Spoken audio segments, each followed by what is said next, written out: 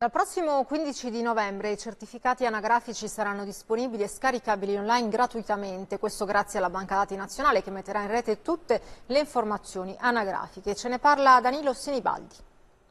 Forse sarà la tecnologia a sconfiggere la proverbiale burocrazia del bel paese. Dal 15 novembre di quest'anno, infatti, tutti i cittadini italiani potranno scaricare i certificati anagrafici comodamente seduti davanti al PC di casa, accedendo al portale anpr.interno.it.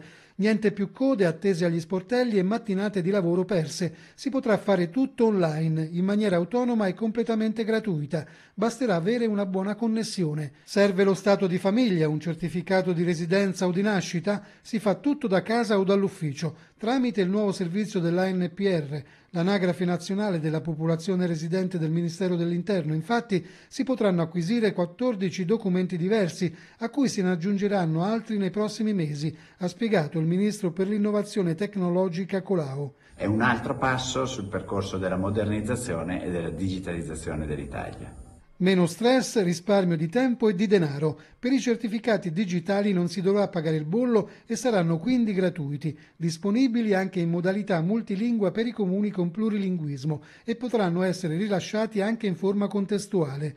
Al portale si accede con la propria identità digitale, SPID, carta di identità elettronica, tessera sanitaria e se la richiesta è per un familiare verrà mostrato l'elenco dei componenti della famiglia per cui è possibile richiedere un documento. Verificata la correttezza dei dati si potrà scegliere di scaricarlo in formato PDF o riceverlo via mail.